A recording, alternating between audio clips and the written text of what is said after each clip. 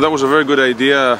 Come over here in this monument uh, that symbolizes actually the, the end of the Second World War.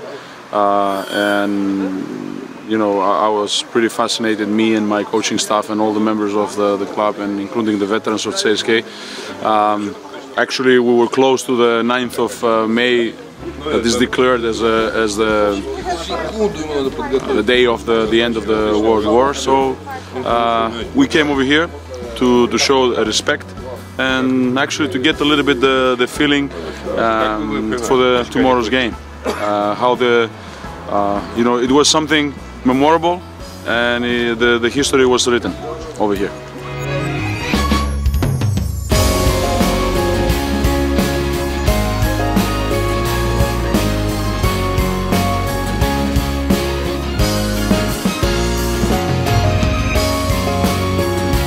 Большинство из э, людей, ветеранов, которых мы с Анатолием Константиновичем Астаховым, э, Ереминым и Кульковым, э, представляя, большинство из них офицеры, мы все офицеры, полковники, подполковники, я капитан запаса.